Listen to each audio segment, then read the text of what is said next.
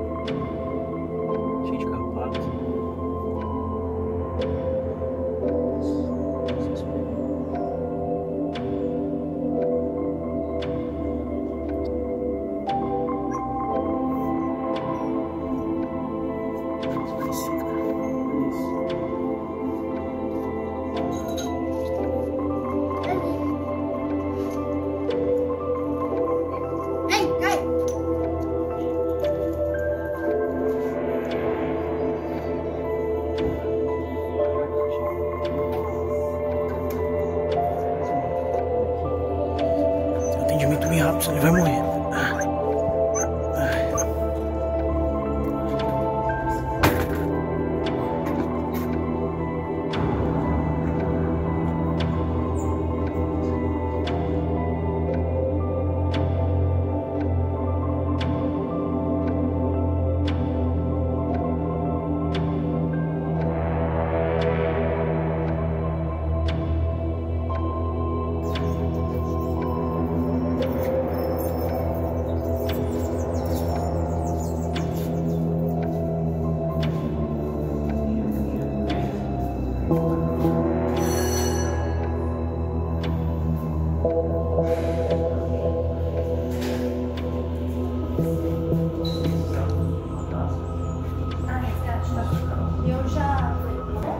Fala pessoal, aqui quem fala é o Rodrigo da equipe Cadê para Mostrar. Pessoal, nós recebemos um pedido de ajuda aqui na cidade de Campinas, onde o animalzinho estava muito mal, infelizmente agonizando alguns dias, segundo relatos dos vizinhos.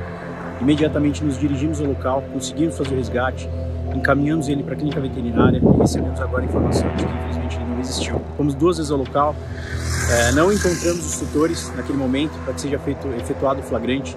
Então nós vamos aqui na delegacia fazer o boletim de ocorrência para que os tutores sejam intimados aí e possam responder pelo crime de maus tratos. Então a gente não vai descansar enquanto esses canais, esses covardes aí, não responderem não forem presos por esse crime.